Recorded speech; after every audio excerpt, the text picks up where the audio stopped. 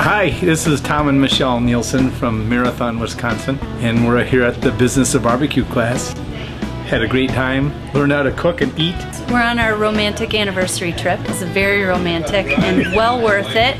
Learned a lot about barbecue, different styles and, and ways to barbecue, lots of recipes.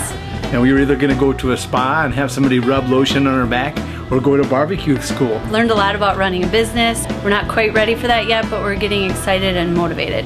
The Business of Barbecue seminar worked the pits with Amy and Mike Mills and the 17th Street crew. Learn to survive and thrive in uncertain economic times. Brought to you by OnCue Consulting.